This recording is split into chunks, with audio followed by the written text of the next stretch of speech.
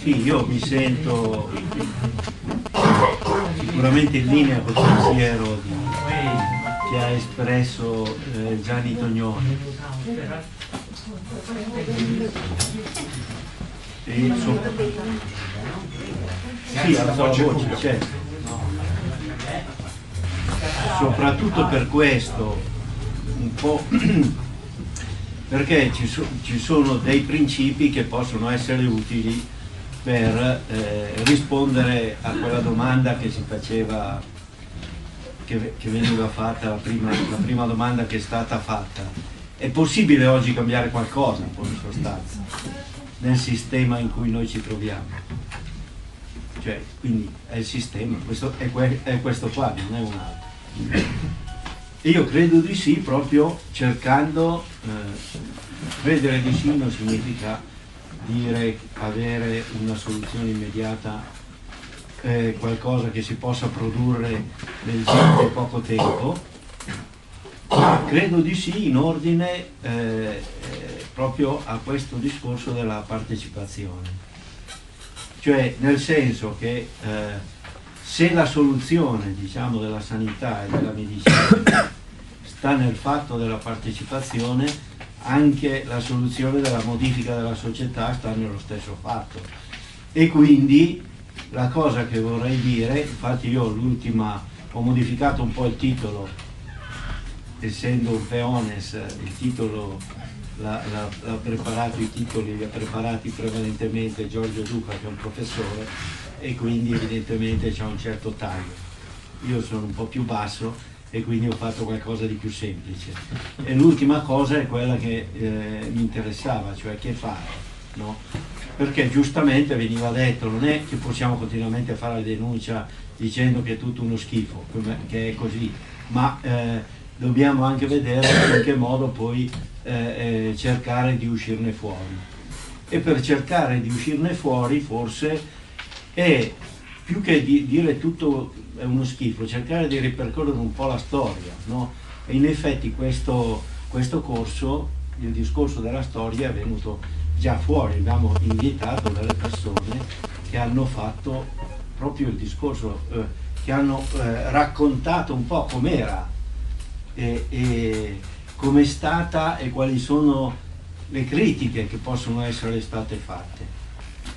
Allora, siccome il tema è quello di parlare della sanità in Lombardia, io rispondo subito al che fare, in questo senso che noi eh, ave abbiamo pensato di fare un incontro finale un sabato mattina eh, eh, proprio su questo tema, sulla sanità in Lombardia, ma che ha lo scopo di discutere fra tutti noi.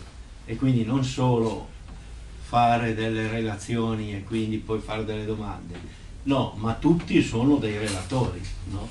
E quindi conseguentemente, poi magari questo lo organizziamo meglio e forse nella misura in cui siete d'accordo potremmo fare anche in un luogo più vasto questa riunione facendo anche degli inviti eh, eh, ad altri che non hanno partecipato al corso perché non interessati, non potevano, eccetera, eccetera, no?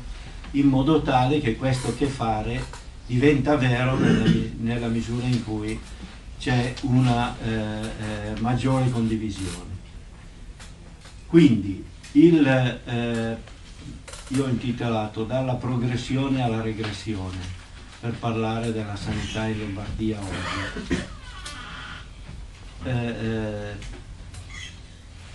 in questo senso qui c'è qualcosa che io non sono un grande esperto e quindi non sono riuscito, no, devo tornare indietro, precedente,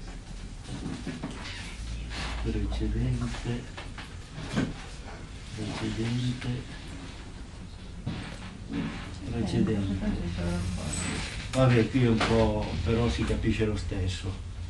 Ho cominciato da questo perché eh, medicina democratica come diciamo eh, eh centro di riferimento il, il pensiero di Giulio Macaccaro, ma non preso come una sorta di deo, no? ma come qualcuno che è riuscito a interpretare in quel momento quali erano gli elementi essenziali del diritto alla salute dentro questo tipo di società.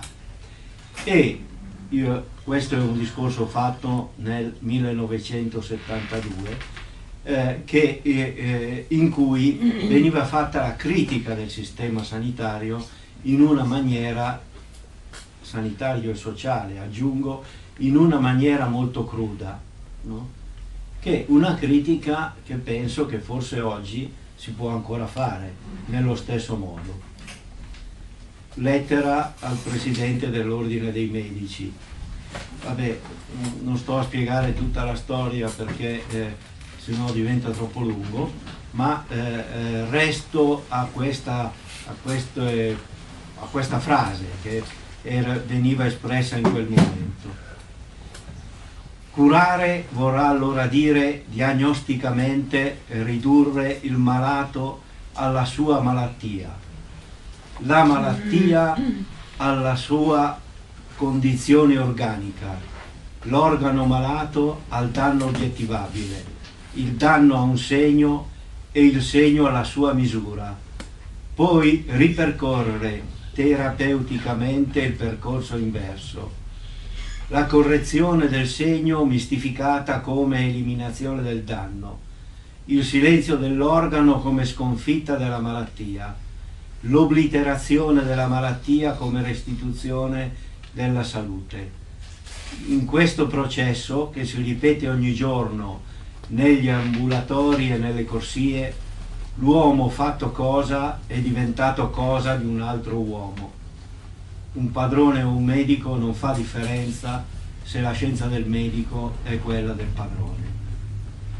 E mi sembrava proprio quello che diceva eh, in questa mancanza di socialità. L'uomo fatto cosa è diventato cosa di un altro uomo. Allora, eh, eh, magari le cose che dico possono sembrare un po' staccate una dall'altra, ma lo scopo eh, finale è proprio questo, fare un po' la storia, eh, capire che ci, che ci, sono stati i momenti in cui c'è stata maggiore partecipazione, c'è, c'è stata una maggiore socialità e c'è stata una migliore condizione eh, eh, di salute e di vita, al di là poi che le malattie magari erano di più prima che adesso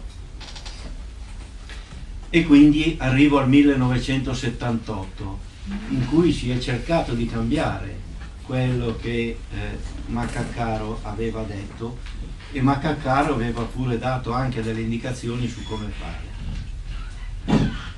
Eh, ricordo anche quanto diceva il professor Tormacini che la riforma sanitaria ha avuto le basi nel 1943, Comitato di Liberazione Nazionale Alta Italia, e quindi nel momento in cui c'era la lotta di liberazione. Allora qui io ho preso un, eh, un documento che è venuto fuori nel 1979 in un convegno fatto da CGL Cisluila da Riccia, cui avevo partecipato insieme anche a Walter Fossati che è intervenuto, in cui eh, diciamo, questo documento poi era stato steso da uno che per quelli eh, che hanno, che hanno presente la storia delle lotte per la salute è molto importante, Gastone Marri. Eh, eh, e dice così, la legge 833, nonostante i limiti e le contraddizioni, può permettere la creazione di un sistema basato sull'approccio preventivo, anche per quanto riguarda la cura e la riabilitazione capace di autoregolarsi rispetto alla ricerca, alla conoscenza, al controllo, alla eliminazione dei rischi e dei danni più gravi e più diffusi che interessano i lavoratori e la popolazione.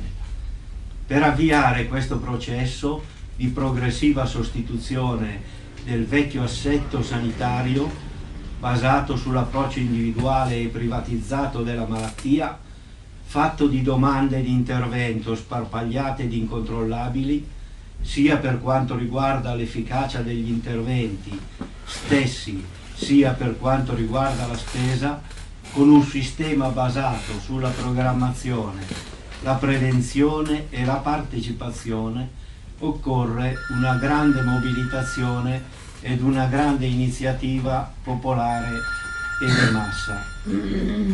Scusate che mi sono dimenticato di spegnere. Allora, io ho sottolineato questo discorso, una grande mobilitazione e una grande iniziativa popolare di massa, perché non sarà di certo la nostra capacità di ragionamento che farà cambiare le cose. Io credo che questo deve essere qualcosa di eh, eh, molto chiaro per tutti noi. Eh, eh prosegue sempre questo documento. La Federazione CGL CQI assuma e colmi il vuoto legislativo di strutture partecipative, avviando a soluzione il problema scientifico della individuazione, del controllo e della eliminazione partecipata dei rischi e dei danni, tramite la costituzione di comitati di partecipazione come prima aggregazione nel territorio della USL, non della ASL, della USL, di tutti coloro che hanno esperienza nei luoghi di vita e di lavoro nella lotta contro la nocività. Quel periodo, in quel periodo sono, eh, eh, anzi addirittura prima della riforma sanitaria sono nati gli SMAL, perché poi il punto di partenza della nostra storia, ma anche eh, è arrivato il punto d'arrivo, se volete, delle, della legge di riforma sanitaria, sono state le lotte eh, eh, per il diritto alla salute nei luoghi di lavoro e sul territorio. I, I, servizi di medicina del lavoro sono nati prima della riforma sanitaria in Lombardia e sono nati come? Sono nati tramite questo grande discorso di partecipazione dal basso da parte dei lavoratori eh, che eh, a un certo punto hanno messo in crisi il sistema precedente, che era semplicemente un sistema eh, eh basato in fondo sull'accettazione della condizione di salute, di perdita della salute e di trasmutazione in moneta della salute persa. Questo è stato messo in discussione ed è stato modificato eh, eh, addirittura rivolgendosi ai comuni, perché gli SMAL sono nati direttamente mettendo assieme alcuni comuni, cioè alcuni comuni messi assieme che hanno deciso di fare un servizio di medicina del lavoro. Stesso discorso è avvenuto per i consultori. No? A un certo punto eh, eh, le donne messe insieme, eh, eh constatando eh, una determinata situazione, hanno detto qua occorre che eh, formare dei servizi, avere dei servizi che rispondano 1, 2, 3, eccetera, eccetera. No? e questa cosa è avvenuta. Eh, eh, io voglio paragonare alla situazione, facciamo subito un discorso sulla situazione attuale, in cui eh, eh è difficilissimo ottenere la benché minima cosa, ma forse bisognerebbe chiedersi come mai, se questo dipende dal fatto che c'è lo spread e quindi c'è la crisi, oppure dipende dal fatto che eh, c'è effettivamente una grandissima dispersione e una grandissima difficoltà a, mettersi insieme. Con la riforma sanitaria c'è stata l'istituzione delle unità sociosanitarie locali, che non erano eh, eh, dei grandi macchinoni eh, diretti da una super personalità come ci vogliono far credere, eh, su un territorio vastissimo in modo tale che non si sa, non c'è più un rapporto fra chi, fra chi esiste e ha dei bisogni e chi governa. Eh, a Milano che c'erano 20 zone, c'erano 20 unità sociosanitarie locali. No? A me viene in mente eh, eh, il discorso dei consultori perché eh, mi ricordo, io ero della zona 19, c'era il capo della zona 19, il presidente del comitato di gestione, mi ricordo che era un ginecologo e forse sarà stato anche per quello che le donne di Baggio si sono messe insieme hanno fatto il consultorio a Baggio. Eh, eh, e c'era per forza questo tipo di rapporto. E quindi lì sono stati istituiti i servizi sociosanitari è stato anche visto che c'è una contiguità fra unità sociosanitaria e ospedale, fra ospedale e territorio. E anche qui si possono fare anche eh, eh, eh, mo molti esempi, ma eh, eh, andiamo avanti. Su questo, io, io eh, punto su questo fatto per arrivare evidentemente all'oggi, cioè si è proprio per dimostrare questo, che nel momento in cui c'è stata la partecipazione ci sono state le modificazioni. No? Il problema di oggi è dire è possibile oggi una cosa simile in una situazione molto cambiata e in una situazione molto più difficile? Allora, eh, eh, la regione Lombardia nel 1988, quindi dieci anni dopo la riforma sanitaria, ha fatto una legge sulla partecipazione, eh, eh, che era la legge numero 48 del eh, appunto 1988. Eh, questa legge poi è stata eh, anche assunta, il colmo, anche dalla legge 31 della regione Lombardia del 1997 di cui evidentemente faccio eh, eh, proseguo nel discorso della regressione. Perché nel 1978 c'è stata una partecipazione in avanzamento, ma da lì poi si è cominciato, eh, la partecipazione è cominciata a ridursi e quindi anche i servizi, cioè si è andati eh, via via declinando. Allora questa legge che eh, appunto è stata fatta nell'88 eh, che diceva strumenti di partecipazione alla vita dei presidi e delle strutture del Servizio Sanitario Nazionale o con esso convenzionati. E dice, cioè dice perché ancora di per sé non è stata, non solo non è stata abrogata, ma è, ma è, passata, ma è passata nella legge eh, eh, 31, la legge fondamentale della Regione Lombardia eh, e, e l'ha fatta passare qui presente Pippo Torri quando era consigliere regionale facendo un emendamento. È l'unico, che, è l'unico emendamento che si è riuscito a passare in quel momento anche perché tanto pensavano che non si sarebbe attuato un bel niente rispetto a quello che c'era scritto perché c'è anche questa tecnica politica che viene utilizzata le cose che poi non passeranno mai nella pratica te le faccio te le regalo anche. No? E dicevo, oltre agli strumenti di partecipazione sociale a livello distrettuale, gli enti responsabili dei servizi di zona e gli organi eh, eh, distrettuali possono istituire al fine del rispetto dei principi di cui alla presente legge comitati di partecipazione degli utenti, dei loro familiari e degli operatori sanitari alla vita dei presidi e delle strutture del Servizio Sanitario Nazionale o con esso convenzionati.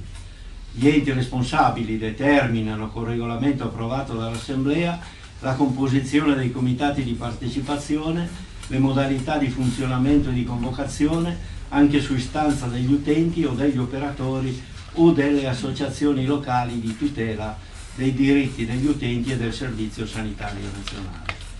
Evidentemente quel discorso della comunità sociale che faceva Gianni Tognoni eh, eh, deve essere per certi versi formalizzato e noi l'abbiamo visto formalizzato quando come un organismo che abbiamo inventato con i francesi che si chiamava École dispersée de santé européenne, scuola eh, di salute diffusa europea, abbiamo visitato eh, eh, eh, alcuni distretti eh, sociosanitari che si chiamavano, non mi ricordo esattamente, in Spagna, nella, a Cordova e a Siviglia, in quel, in quel territorio dove abbiamo visto che quello che noi avevamo preventivato e che qui non è stato realizzato, ci sono stati due comitati di partecipazione in Lombardia che conosca io, ma in quel periodo conoscevamo tutto, per cui effettivamente è stato così, anche uno ero il presidente, ero io, per cui la cosa la conosco abbastanza. Però in effetti eh, eh, questi comitati di partecipazione che noi abbiamo riscontrato in Spagna erano eh, eh, eh esattamente quello che Maccacaro diceva di, di quelli dovevano essere le case della salute, ovvero un luogo dove certo si fornivano eh, relazioni di salute e si faceva anche della, eh, della buona medicina, dico magari lo, fa, lo, stanno facendo ancora, adesso abbiamo perso i contatti, ma al tempo stesso questa cosa era governata da eh, gruppi di cittadini che eh, entravano all'interno di questa struttura, era una struttura fisica, la casa della salute, non un discorso genetico era una struttura dove c'erano i medici di medicina del lavoro, al tempo stesso c'era eh, eh, eh, la, la, salute mentale, le tossicodipendenze, la, la, salute della donna, cioè le cose essenziali erano all'interno di questo tipo di struttura e però c'erano anche i cittadini. Diciamo che lì, eh, da lì si è cominciato, a, non realizzando alcunché di partecipazione, si è cominciato a eh, decrescere pesantemente. E quindi si è passato dalla partecipazione, quello che eh, eh, eh Maccacaro ha così eh, spiegato, cioè quando si, si perde la partecipazione e al posto della partecipazione si mette l'efficienza cioè quello che eh, è avvenuto in quel periodo è che eh, invece di, di, di lavorare con i cittadini sulla condizione reale, prima a partire da quelli organizzati evidentemente, si è spostato il discorso sulla spesa sanitaria. No. Tanto che le USL sono state considerate, e un po' lo, erano, lo sono state effettivamente, eh, fonte di spreco e di clientele politiche, eh, i cosiddetti distretti sanitari che dovevano essere quelli più vicini ai cittadini e eh, di fornire i servizi essenziali eh, eh, non sono mai effettivamente partiti se non naturalmente con delle eccezioni si è cominciato a ridurre il personale no? sono arrivate le prime leggi che dicevano non si assume più nessuno sono arrivati i la, la gratuità del servizio è stata ridimensionata per poi arrivare al 1992, quella che io qui chiamo, ma era così, la controriforma sanitaria, la legge eh, eh, De Lorenzo, cosiddetta, in cui eh, il declino si è affermato e è iniziato un'epoca eh, assolutamente diversa che è quella che ci sta sportando adesso allo smembramento del Servizio Sanitario Nazionale dalle USLA siamo passati alle ASLA, dal finanziamento a giornata di degenza che comunque non che fosse, era, che era distorto. No? Gli ospedali venivano pagati in funzione eh, eh, delle giornate di degenza dei pazienti no? e quindi poi però si è andati esattamente all'opposto, si è passati ai DRG e, eh, e quindi i pazienti più li mandiamo fuori e più siamo contenti. E dall'ambigua gestione eh, eh, dei comuni, dico ambigua perché i comuni non si sono mai effettivamente impegnati per far funzionare la sanità, perché i comitati di gestione erano nominati dai comuni e quindi dovevano essere i comuni che gestivano la sanità. E invece, eh, visto che i comuni questo l'hanno fatto poco e male, hanno pensato al direttore generale e si è passati da una, una sanità sociale come quella che preventivava eh, Gianni Tognoni ad una sanità efficiente, cioè una sanità sostanzialmente eh, eh, eh basata sulla spesa. Il, eh, in Lombardia eh, questa traduzione della 502 è arrivata più tardi, nel 97, con la, la famosa legge 31 in cui si sono ridotte le AS di numero, sono nate le aziende ospedaliere, eh, eh, le ASL, cioè le ASL sono diventate USLA, erano già diventate ASL, eh, eh, quindi sono rimaste ASL ma poche, sono nate le aziende ospedaliere, è stato separato il discorso dell'ospedale dal territorio eh, aziende ospedaliere e aziende sanitarie. Eh, eh, è stata fatta una falsa integrazione del sanitario con il sociale, mm. nel senso che la sanità dovrebbe essere sociale, invece è stato detto no, c'è un pezzo di, di sociale e un pezzo di sanitario e questo soprattutto per le categorie che venivano prima nominate eh, eh, da Gianni Tognoni, le persone malate croniche, anziane, non autosufficienti, malati mentali, c'è una componente sociale e una componente sanitaria, che poi la cosa è finita in moneta, nel senso che la componente sanitaria te la metto io come regione, la componente sociale la paghi tu come cittadino. No? E quindi una cosa che non è di poco conto è che ha mandato sull'astrico parecchie persone perché provate voi a pagare una retta di una casa di riposo 1500 euro e, e, e, o 2000, da 1500 a 2500 euro al mese. No? Eh, eh, non solo, ma poi c'è stata anche un'altra divisione, e che è quello del rapporto fra ambiente e salute. Sono state inventate le ARPA, questo anche grazie ai Verdi, ma questo detto fra di noi. Eh? I radicali, no? c'erano anche Verdi. Eh, eh, e, quindi, adesso che, che, è uscito fuori il discorso del, dell'analisi ambientale, è uscito fuori dalla, dalle USLA, che già non erano più USLA, ed è finito a parte. Eh, e soprattutto poi eh, stato, il discorso è stato centrato, non c'è più né pubblico né privato, ma tutto è eh, esattamente sullo stesso piano. No? E eh, eh, se posso eh, riassumere il discorso di questo tipo di sistema è quello in, in questi termini un po' sloganistici però mi sembra alquanto veri, che è diventato sempre di più. La salute è una merce e la sanità è un affare, è quello che ha dominato eh, eh, eh in Regione Lombardia, cioè che cosa ha dominato e sta dominando ancora, ancora di più, è il dominio del sistema medico-industriale. No?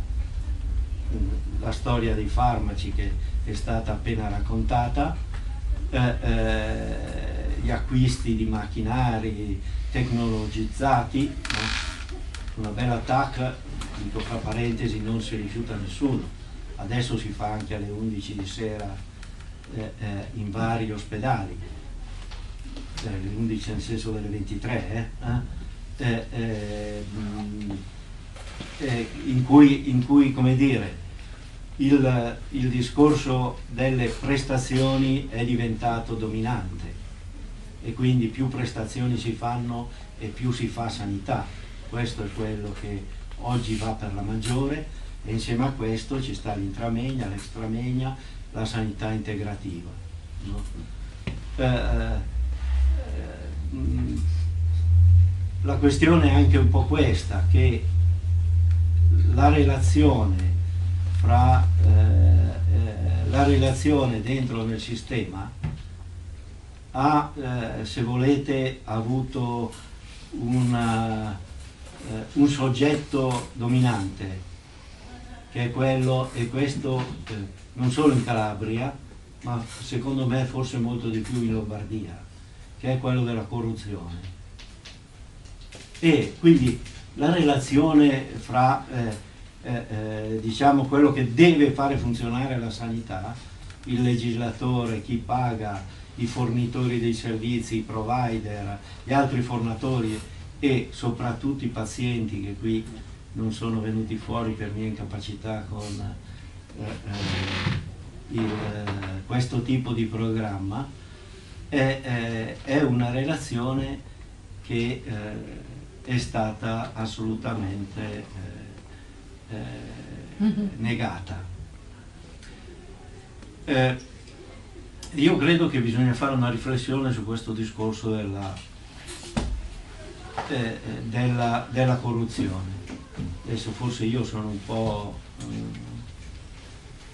come dire, ho un po' la testa in tribunale eh, rispetto alle numerosi parti civili in cui si trova medicina democratica, e adesso arrivo dal tribunale udienza eh, della Santa Rita durata tutto il giorno e il secondo processo per eh, eh, omicidio, omicidio, volontario. Eh, eh, quindi c'è la Corte d'Assise in cui ci si trova di fronte e dove in questi giorni ci sono due udienze alla settimana, il lunedì e il mercoledì, eh, stanno interrogando gli imputati.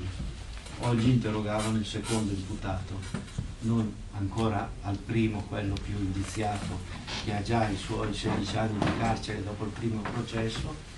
Il secondo, eh, tal, anche questo un chirurgo toracico che si chiama Plesici, eh, veniva interrogato su una serie di casi che eh, erano finiti a morte. No?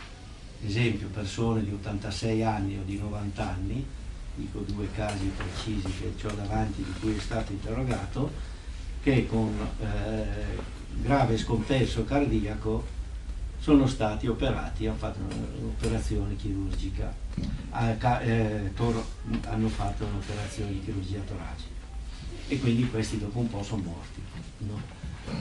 E però eh, la tesi di questo presidio non è stata di dire scusate ho sbagliato, ma è stata quella di difendersi, anche si vede che stando in carcere si è comunque molto preparato bene, dal punto di vista tecnico a dimostrare che quella cosa era assolutamente giusta.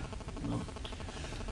Non si è accorto che il pubblico ministero sono due donne molto toste che eh, gli ha fatto fare tutta la storia e poi questa storia veniva alla fine e diceva vabbè ma cosa è successo quel giorno là? Ah, quel giorno là il, il paziente è deceduto no? e, eh, e, non riusciva a collegare diciamo questo imputato. Il discorso dall'operazione che hanno fatto loro eh, con una manchevolezza anche dal punto di vista tecnico non sono io che lo sto a discutere. Però eh, il problema fondamentale era questo qua, che dietro questo discorso ci stava un tipo che era il padrone della clinica eh, Santa Rita che eh, aveva detto a tutti i primari eh, eh più prestazioni fatte e eh, più sarete pagati.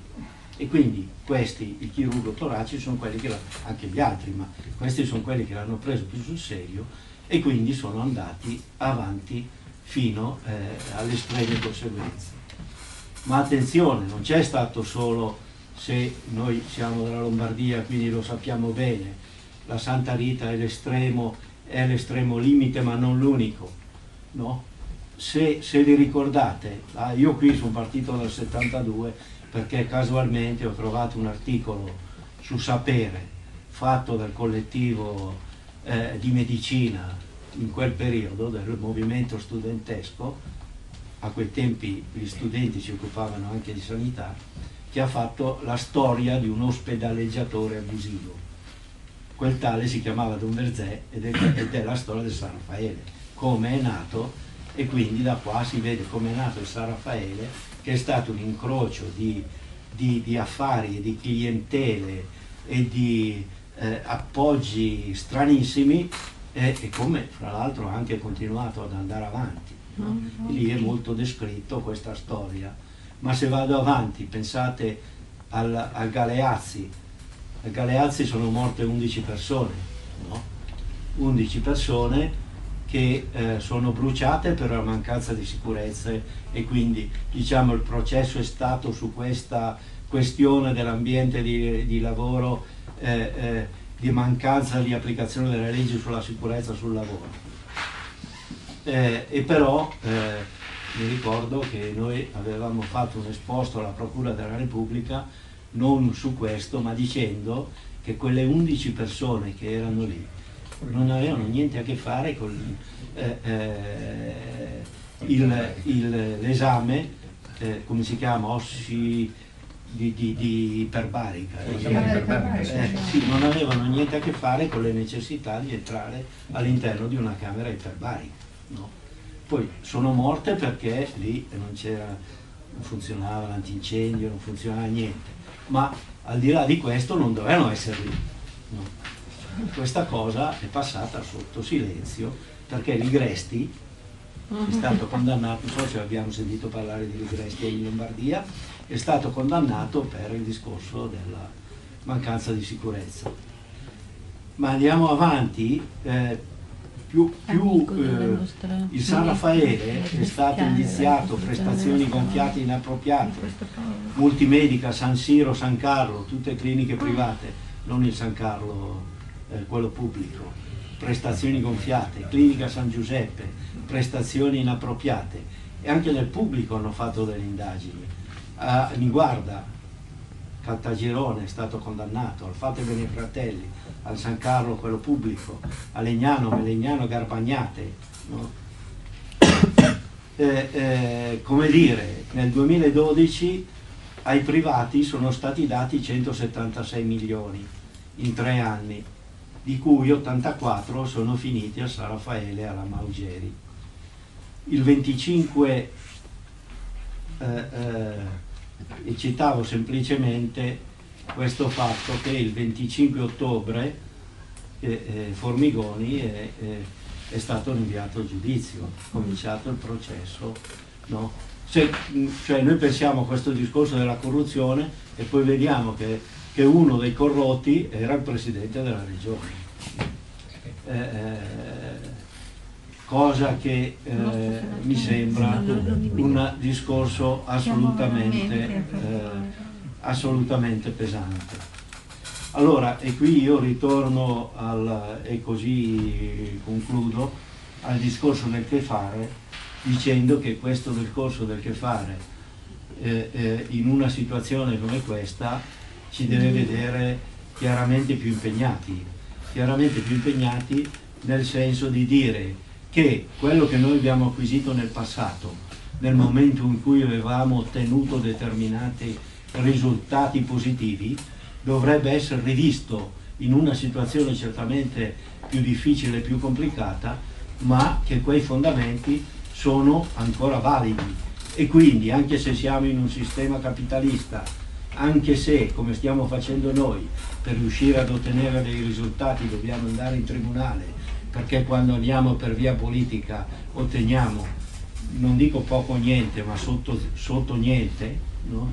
allora credo che tutte queste cose andrebbero messe insieme e andrebbe visto che cosa effettivamente si può e vorrei dire e si deve fare perché eh, oggi la sanità pubblica credo che sia sotto eh, gli occhi di tutti eh, si sta distruggendo, ma perché in fondo si sta distruggendo la sanità. La sanità lombarda, adesso hanno, hanno dato dei numeri, se voi volete andate sul sito di Medicina Democratica e trovate un convegno molto interessante a cui abbiamo partecipato, fatto dal eh, eh, movimento per la decrescita felice, che si chiama così, mm. il, il, convegno è decrescita e salute, mm.